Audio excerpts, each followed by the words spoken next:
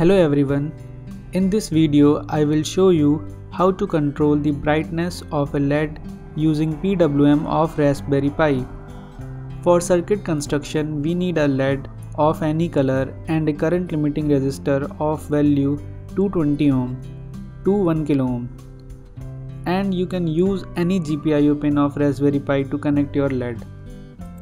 I had already write the program and will explain this at last. Use python led underscore pwm pi command to run this demo. Initially the LED is glowing in full intensity and now from the terminal we can control the intensity of LED where 0 means fully off and 100 means fully on.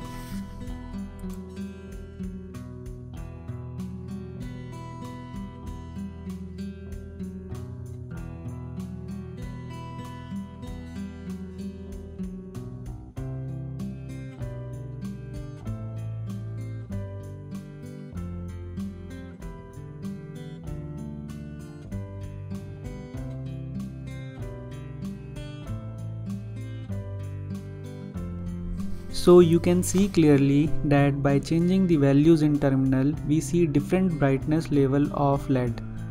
Now after this I will shut down my Raspberry Pi using command sudo shutdown space minus h space now. Now I will update you with some of the PWM functions.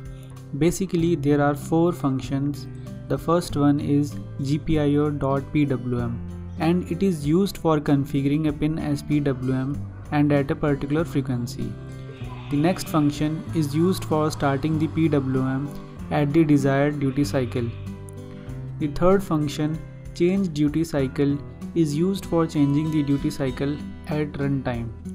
Now coming to the last function, this function is just used to stop the PWM cycle. Now I will explain the program which I used in this demo. First of all we have to import the GPIO library for using PWM functions and the time library for using delay functions. The LED is connected with pin 11 on the Raspberry Pi board so we declare a variable with the pin name to make program looks generic for future modifications. The next step is to set the board and I am using gpio.board mode um, then we will make the pin as output pin the next step is the configuration of the PWM so we use the gpio.pwm function to initialize pin 11 as PWM pin and set the frequency as 50 Hz.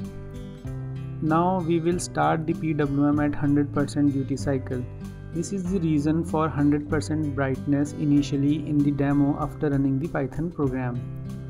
Now in the while loop, we prompt a message on the terminal to enter the duty cycle value between 0 to 100 and then we wait for the value to be entered by the user. The change duty cycle functions only accept integer value so we have to convert the string value received from the uh, received above into the integer by typecasting it with int.